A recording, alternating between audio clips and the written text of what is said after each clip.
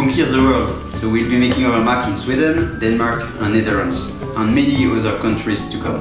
And of course continuing to fulfill our travelers' dreams before, during and after the trip.